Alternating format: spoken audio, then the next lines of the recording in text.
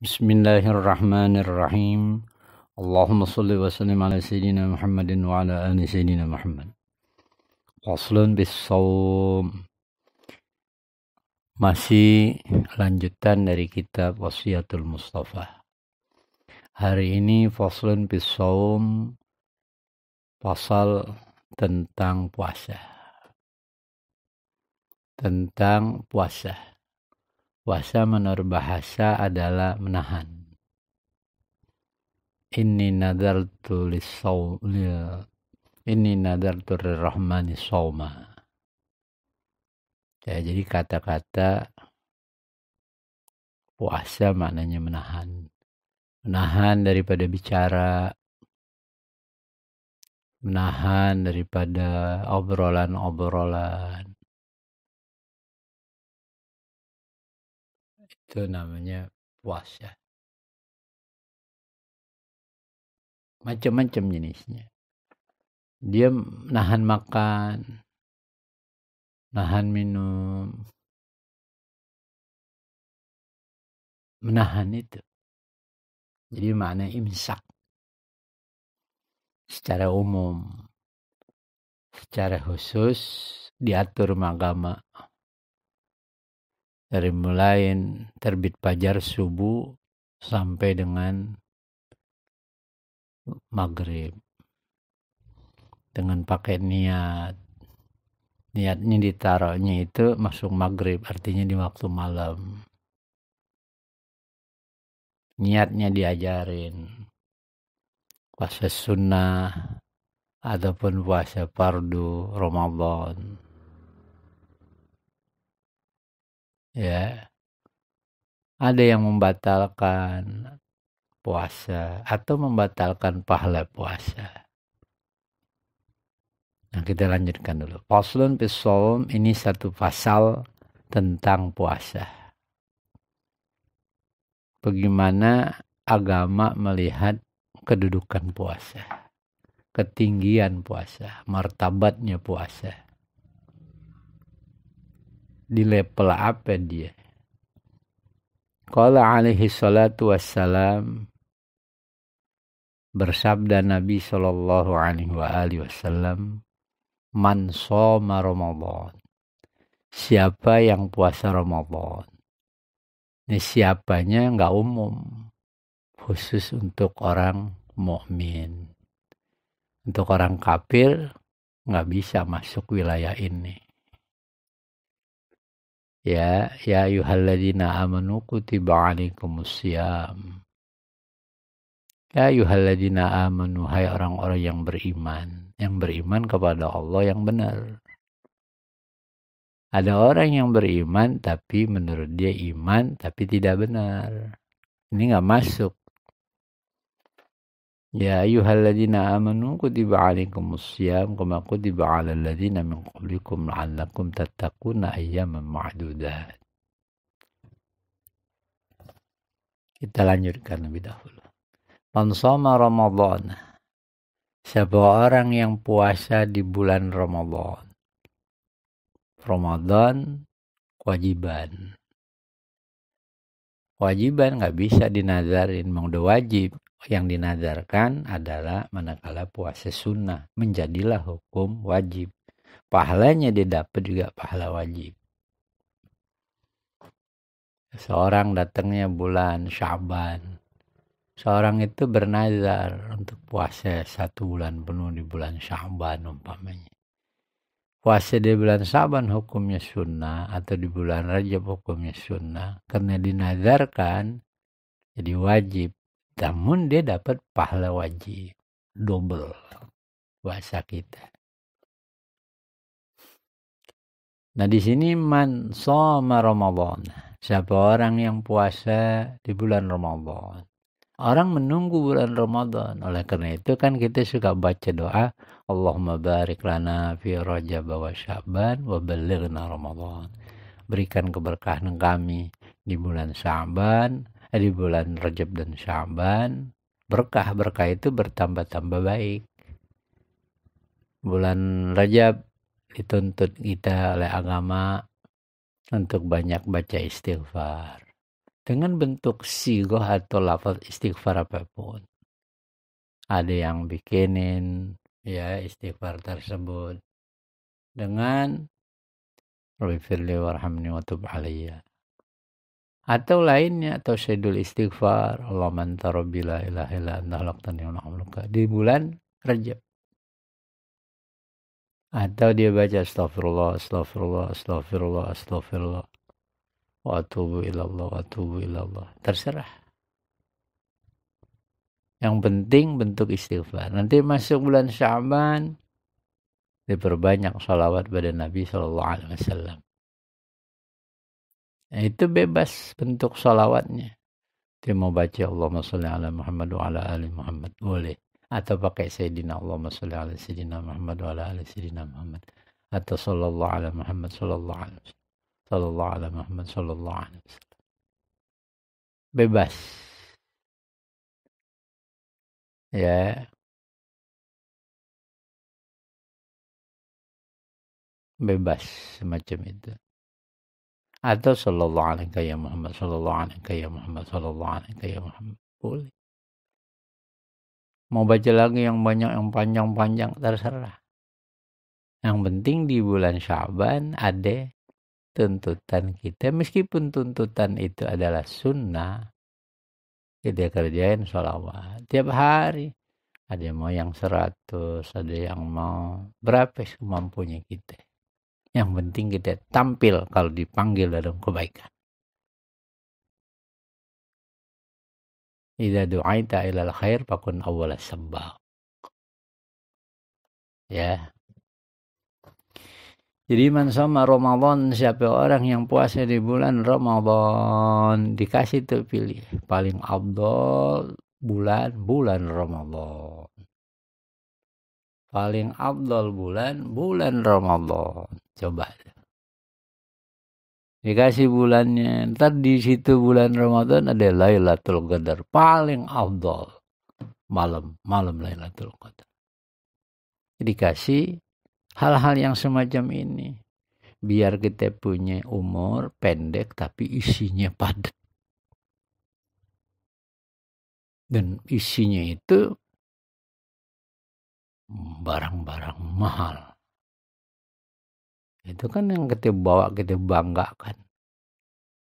Ya bertemu kepada Allah. Melalui jalan ini nggak lepas dari kematian.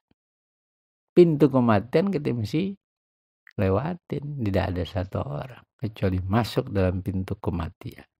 Nah kita diajarin agama. Wala tamutunna illa wantum muslimun Jangan sampai kita mati dalam keadaan tidak Islam. Tidak benar-benar pegang Islam. Sepilihin Islam, gampangin Islam. Hati-hati. Orang yang pilih-pilihin Islam, gampang-gampangin, remeh-remehin, cuek aja dengan Islam, sabudu aja dengan Islam. Meninggalnya khifa'al su'il khatimah dikhawatirkan. Su'ul khatimah penghabisan yang buruk bahasa kita. Di ujungnya jelek. Itu kan bahaya. Kalau dia sampai keluar daripada Islam, selamanya di neraka. Waliyahdubillah.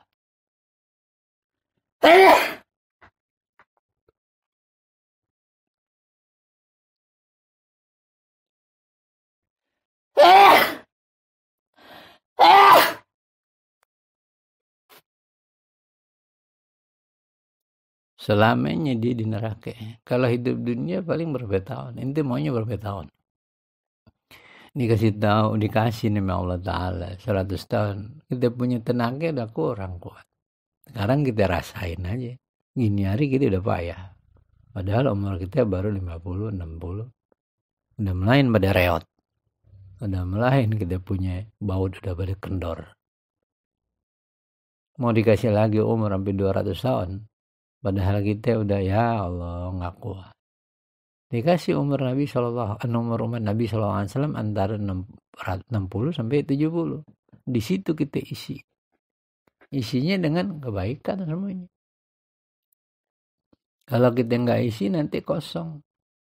Pulang ke akhirat semuanya kosong. ada barang-barang kita perbaiki apalagi katanya wajitana bal harama fihi soma wajitana bafil madi wajitana bal harama fihi dijauhin yang haram dalam puasa Ramadan bulan yang mulia hati-hati jangan sembarangan manfaatinnya Jangan kita habisin dengan hal yang haram. Padahal ya Allah bulan puasa masih begitu aja lagu kita. Enggak berubah-ubah. Enggak berubah-ubah. Kita puasa mau buka apa aja kita beli. Apa aja kita ada beli di jalanan emang sengaja. Banyak yang jualan biarin deh urusan dia yang jualan bukan urusan kita dia mencari nafkah dia mencari rezeki biaya hidup kita menjamin kita larang kan nggak boleh biarin urusan dia kita beli berbanyak jangan kagak tapi bukan buat kita. Oh musola no. Bawain. No masjid no. Bawain. Atau kita di rumah kita kebenaran orang banyak lalu lewat lalu lalang. Pada lewat giliran mau menjelang maghrib kita kasihin. Itu kita jadi orang beken tuh top tuh ngerti agama gitu namanya tapi kalau urusan buat dia buka puasa ya yeah, dia demennya ngopi umpamanya kopi dah. Kopi dulu deh diminum dibatalin umpamanya puasanya. Jangan ngebatalin puasa habis rapi kelar ngerokok. Rokok kan makruh entar-entaran apa dah? Ya entar-entaran apa gitu jangan. Buru-buru dengan hal yang sifatnya makruh jadi wajibnya bal haram apihi dan dia jauhin hal yang haram dalam bulan Ramadan. Puasanya dijaga dari barang yang haram. Dirinya juga dijaga dari hal-hal yang haram. Ini Ramadan.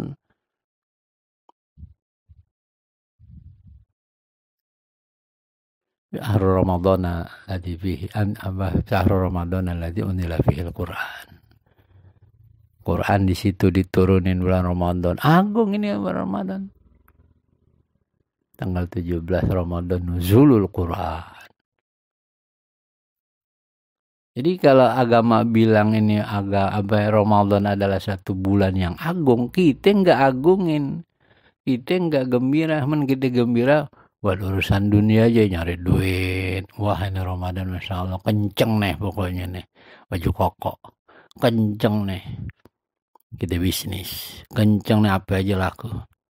Ya kalau itu namanya kita lagi mau panen panen urusan dunia. Panen akhiratnya panen pahalanya gimana? 11 bulan kita nyari dunia. Satu bulan buat akhirat kita nggak mau. Masya Allah. Agama bukan begitu. Orang-orang dulu aja nih orang-orang dulu nih cerita orang dulu. Memang kita sih bukan orang dulu. Tapi kan cerita yang bagus boleh kita ikutin kita turutin tiru kita contoh dalam satu minggu aja seminggu dia ambil satu hari Jumat di libur.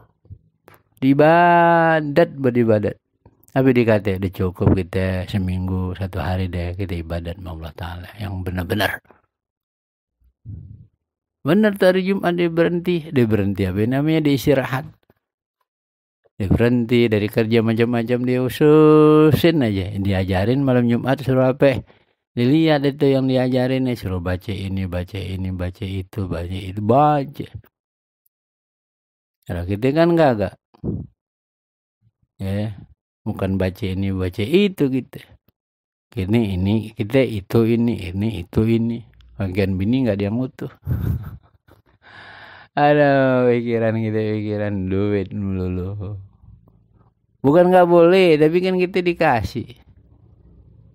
Dikasih apa? Arahan semacam itu maka orang dulu begitu. Dalam satu tahun disirahat satu bulan tuh.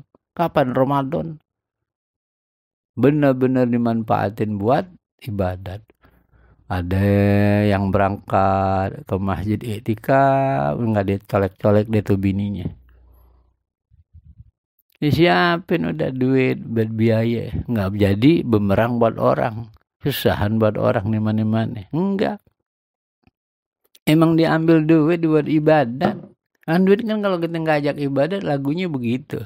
Paling kita kumpulin di bank bank dapat bunga. Kita doyan memang bunga. Kita makan lagi kita habek lagi. Padahal kan hukumnya agama ada kasih tahu Eh, kita belaga pilon aja masih begitu begitu dan begitu. Orang kalau belaga nggak tahu nanti dibakar di neraka. Allah nggak belaga tahu aja lagi. Begitulah pekerjaan hambaku. Aku pun juga melakukannya semacam itu. Karena dia yang punya kerjaan. Udah kita lanjutin. Wajitan apa? Haram apihi dan dia tinggalin haram pada bulan Ramadan itu. Apa yang jadinya haram wal buhtana kedustaan kedustaan-kedustaan, kebohongan-kebohongan itu ditinggalin. Bukan semata karena ini dihususkin lagi, khusus Ramadan dengan keberkahan Ramadan. Diminta ya Rob dengan keberkahan Ramadan. Mungkin kan ulama-ulama bikin tuh. Ya, gosida-gosida Ramadan. Syalillah ya Ramadan, syalillah ya Ramadan. Filillah ya Ramadan bil gabul wal gufran dengan kebesaranmu ya Ramadan. Ramadan besar.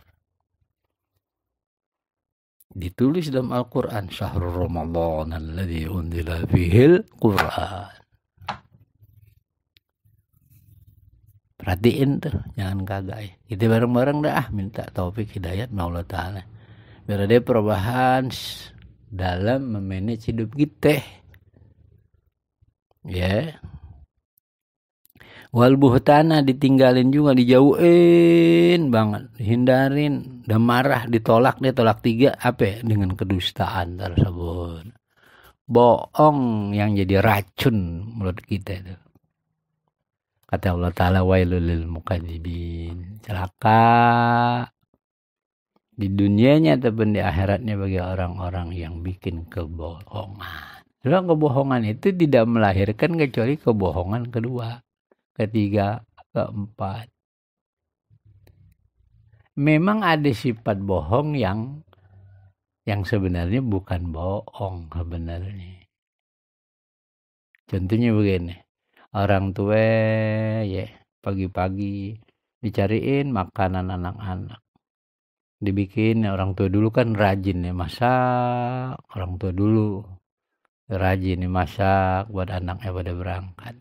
Kata anaknya bilang mak ibu itu bu atau mak udah sarapan? Udah.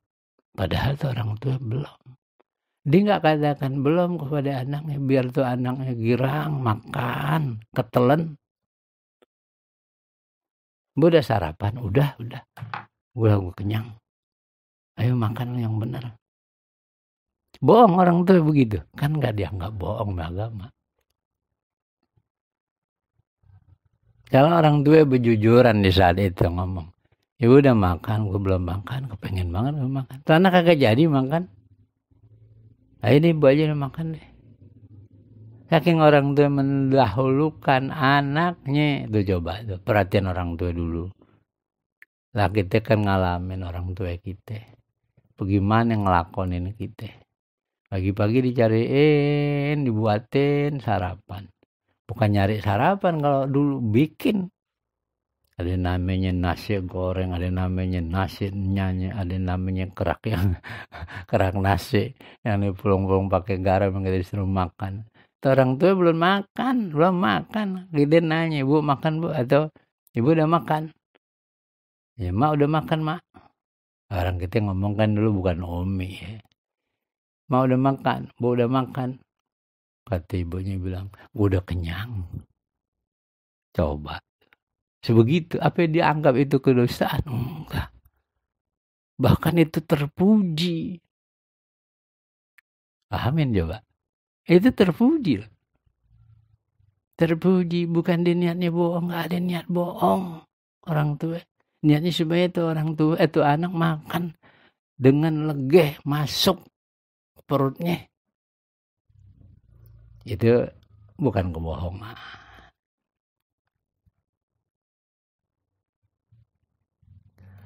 Anaknya anak kecil ibunya datang head puasa kan nggak puasa ibunya kalau mau makan tuh dicari di kamar ditanya dia anak anak kecil kan suka nanya. Ya apalagi ibunya lebih berani artinya lebih dekat. Ibu puasa puasa. Lu puasa yang benar. Padahal tuh orang tuh nggak lagi puasa.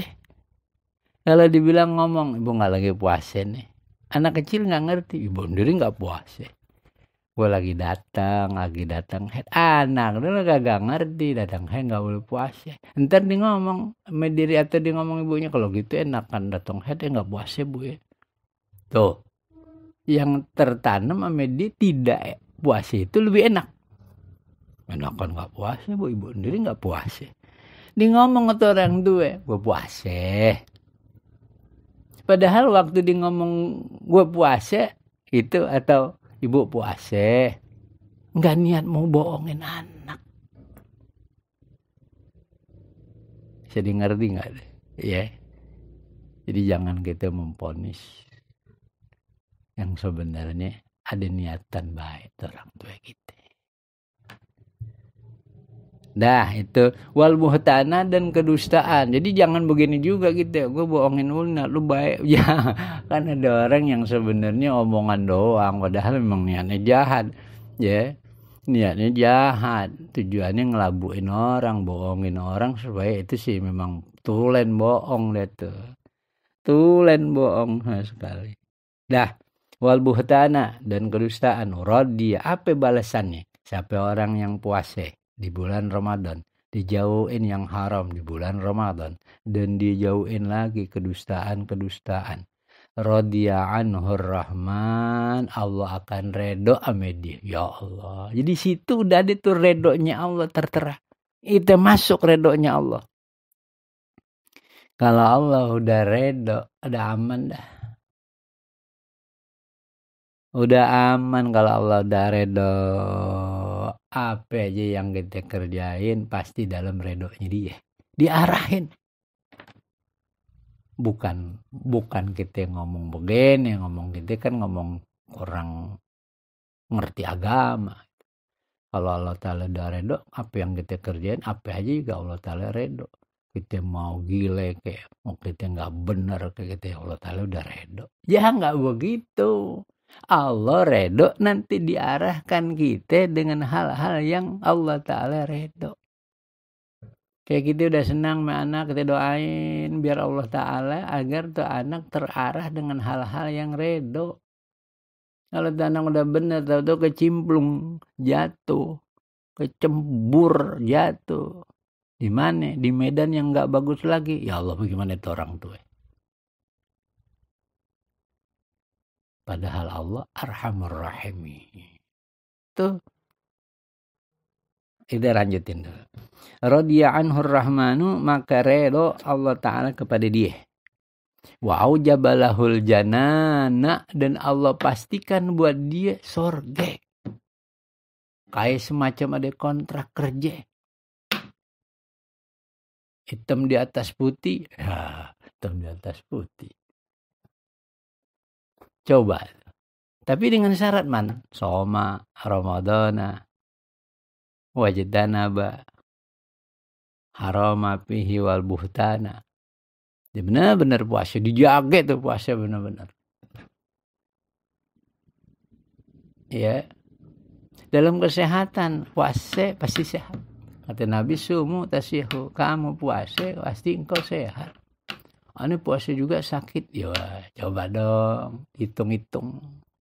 Setelah inti inti kan gak, ngerti sehat atau, atau sakit. Tanya dokter. Cek darahnya cek semuanya dalam keadaan kita puasa beda. Kita aja mau ditindak dioperasi disuruh puasa. Puasa jangan makan. Sekian jam. Ada apa Dah kita lanjutin. Wa aujabalahul janana Allah Ta'ala pastikan dia bakalan janan. Janan tuh jamaah dari jannatun. Eh janan. Jinan bukan janan. Janan tuh hati. Kalau jinan sorga. Kalau janan hati. Wa aujabalahumul jinana maka Allah Ta'ala pastikan buat dia, tetepin buat dia al jinana, sorge, sorge, bermacam-macam sorge. Kan kemarin kita cerita, ada sorge namanya pintu, pintu duha. Nah di situ ada suara. Siapa orang yang dahulunya rajin sholat duha, di mana pun dia berada, dipersilahkan untuk masuk surga melalui pintu ini. Ada namanya babul paroh. Dia bikin orang girang. Kalau ada anak-anak dibawa permen atau dikasih, digirangin anak-anak. Ada orang-orang yang miskin digirangin dengan cara bantuan. Bukan girangin ini maknanya ngelawak, bikin orang ketawa, bukan begitu. Bukan salah ntar. Kalau kita nggak bisa nafsirin, nggak bisa ngertiin hadis, udah diem aja dah. Selamat daripada kita so aksi so aksi so nafsirin nafsirin akhirnya jadi kagak bener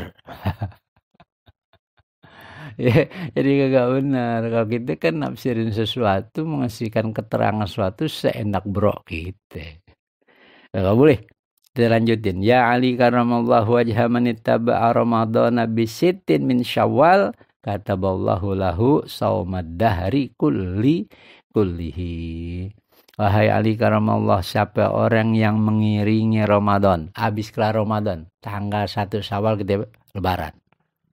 Tanggal 1 syawal kita lebaran. Semuanya tanggal 1 syawal lebaran. Aneh lebaran hari Selasa tanggal satunya. Yang kawan aneh dia hari hari apa? Hari Rebu. Berarti dia udah dua syawal. Enggak dia tetap satu syawal. Hitungannya yang beda gitu doang. Selesai. Kagak ada orang yang dibilang, oh dia tuh lebarannya tang hari Selasa, yang mana hari Rebu, berarti dua Syawal. Kagak tetap satu awal. Puasa lebaran tuh pas satu Syawal. Ramadan satu Ramadan. Tendang harinya udah masuk atau waktunya udah masuk atau belum itu lain halnya. Begitu tuh agama tuh. Makanya jangan jadiin masalah yang besar kita bakalan menyongsong Ramadan. Ada yang udah puasa, ada juga yang belum puasa. Menurut pendapat yang belum, ini belum masuk bulan Ramadannya. Bagi yang satu bilang ini udah masuk, nggak masalah, udah. Agama udah arahin. Semuanya agama udah arahin. Kita nggak dalam bidang agama emang kebingungan. Oh dia puasanya besok, kita sekarang. Mendingan besok aja Nah besoknya kita giliran lebaran lain lagi. Ah emang dia tuh orangnya beda tuh sama kita orang pada. Jangan, jangan, jangan. Kita nggak ngerti urusan yang begini lebih bagus kita jangan bicara. No comment. Udah, kita lanjutin dulu. Siapa orang yang ngikutin Ramadan? Adba'ah itu setelah rapi Ramadan, Berapa hari? 30 hari. Berapa hari? 29 hari. Ramadan antara dua tuh. Oh dia Ramadan ini 28. Masih kurang. Paling kagak antara 29 atau 3, 30. Udah. Ya.